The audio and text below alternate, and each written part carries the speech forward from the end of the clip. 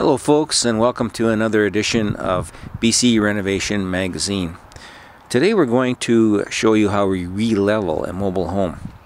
Mobile homes don't sit on uh, concrete foundations like regular houses do.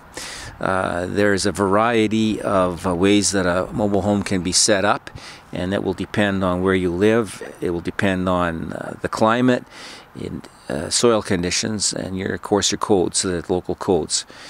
Uh, where we live, we don't get a lot of frost, and so we set them up on these cribs. So there you can see a crib. Uh, it's, a, it's, that little stack of wood, and it's sitting on a concrete block. That concrete block is just sitting on the ground.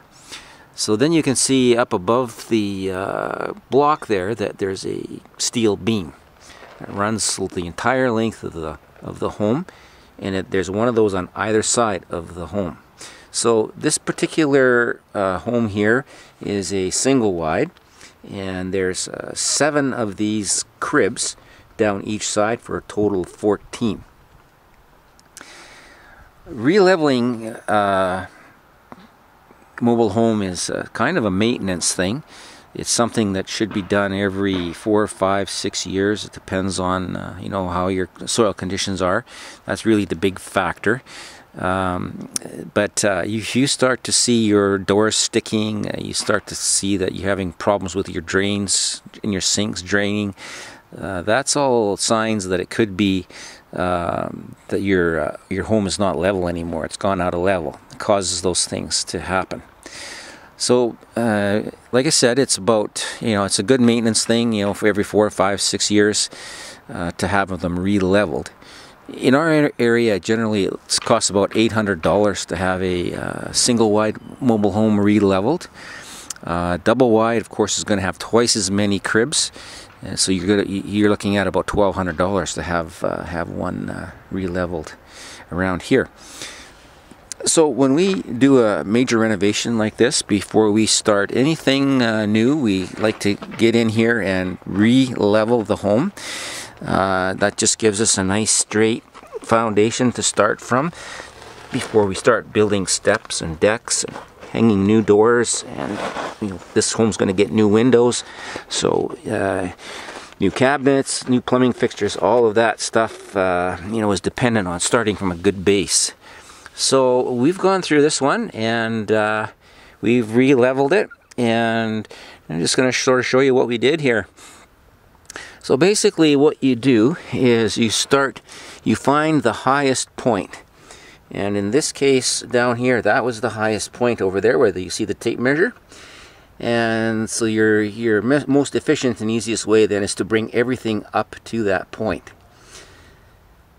you can see we have a laser set up here and the laser is what what guides us and so basically the way this works is you can see down there there's a laser line on that tape measure and it's right there now it's uh, at five inches so what we will do is we'll go around the entire uh, building uh, from crib to crib all 14 cribs and bring them up so that the laser hits that 5 on the tape measure all the way around.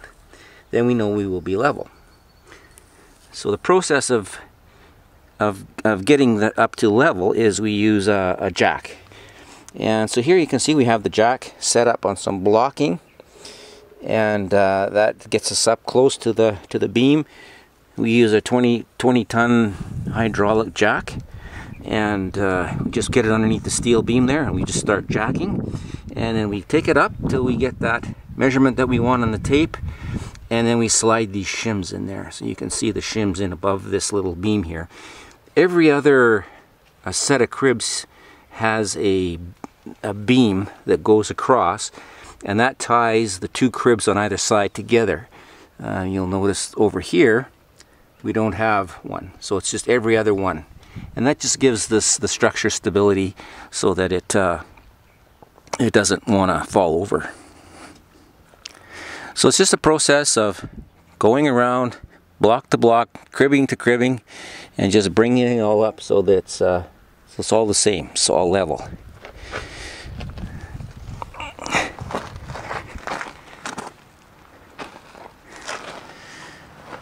So then once we've done that, then we then we're ready to start with new construction. We have a nice level base to work off of for all of our new stuff. You can see here where we where we uh, jacked this up. This home was about uh, an inch out of level from high to low and we are up now to everything's plus or minus an eighth of an inch from our what we call benchmark. But you can see here where uh, you know in the process of, of uh, leveling it uh, this this deck that was built here before was not it was built on a crooked crooked building it wasn't level we've brought this up now and you can see how it's uh, sort of canted there and that's because we lifted the building and the deck stayed down and it just kind of canted that.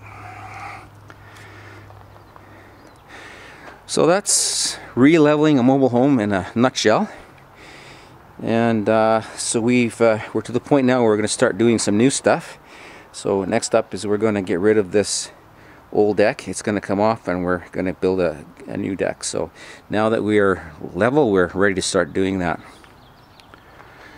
so if you're just joining us folks we are uh, renovating this this old single wide mobile home here we're giving it a complete inside and outside renovation uh, if you haven't seen some of our other videos, uh, go back and have a look at some of those.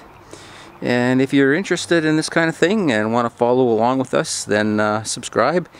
Um, if you uh, would like to share it, give us a share, give us a like there, and uh, we'd love to hear from you in the comments. Uh, are you working on a, a, mobile home project? And if so, what, what are you doing? So thanks again, folks. We'll see you on the next one.